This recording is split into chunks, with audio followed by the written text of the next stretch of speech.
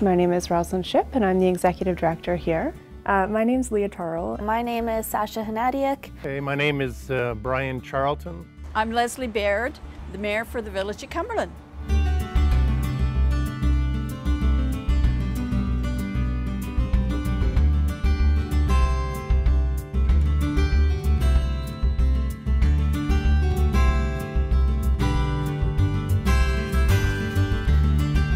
In 2020, we started a revitalization project of the museum that looks at um, redeveloping our exhibition spaces, our building, uh, its mechanical systems, as well as ensuring that we have a proper collections, care, storage area. I'm the exhibitions assistant here at the museum. Every day we go looking for one thing in a box and come up with five different um, other artifacts that are equally as interesting or lead us in a, down a different path for the exhibits. So it's really nice uh, to be just surrounded by history that we're all interested in here.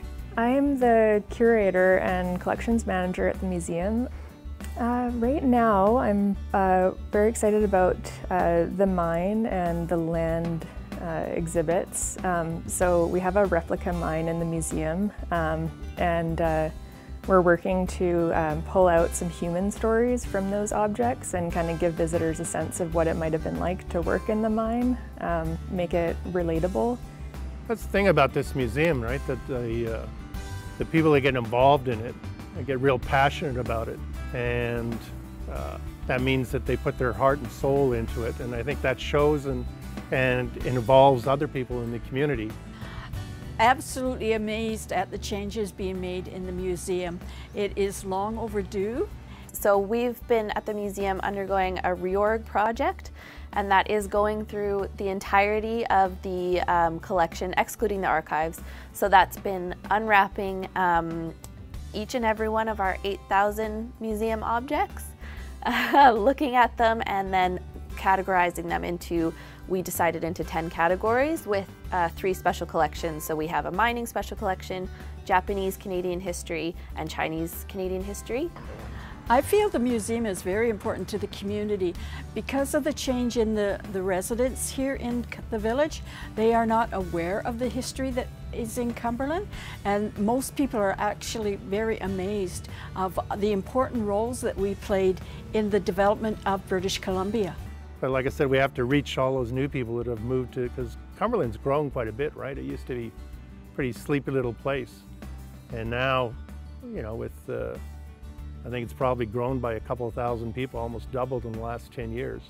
So, and all those people just don't have a clue, I think, sometimes of what goes on, what went on here in the past.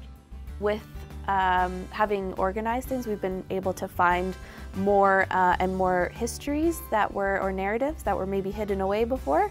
Um, so I'm really proud that the museum, while we're maintaining previous um, local history with mining and industry and labor history, we're really delving into more diverse um, narratives that have happened throughout the community that maybe haven't been mentioned before or were hidden away.